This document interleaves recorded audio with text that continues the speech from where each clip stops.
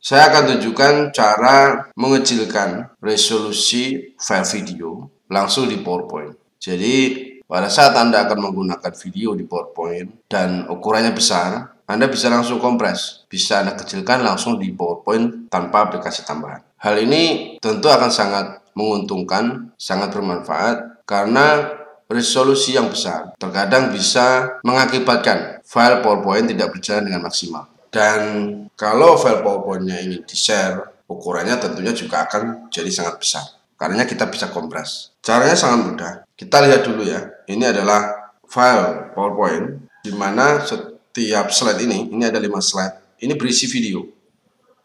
Ya, ini video.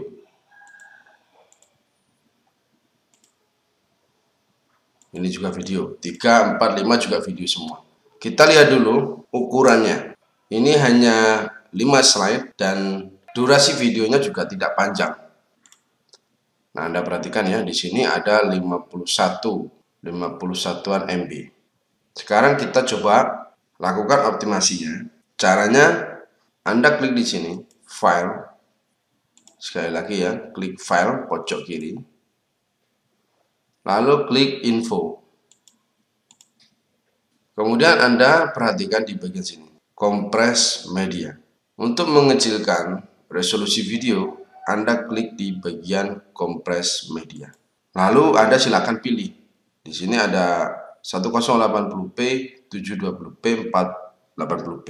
Untuk ukuran terkecilnya, Anda bisa menggunakan 480p. Klik. Anda perhatikan ya,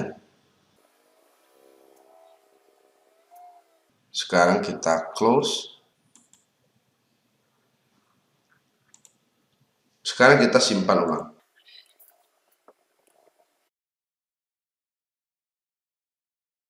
Kita simpan.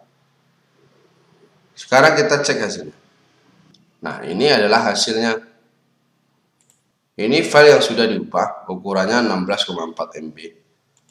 Sedangkan yang ini adalah slide yang awal tadi yang belum dikompres videonya. Sekarang kita buka, kita lihat. Anda perhatikan ya, ini resolusinya masih oke, meskipun sudah dikompres.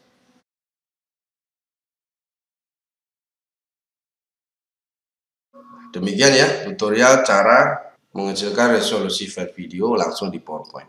Semoga bermanfaat.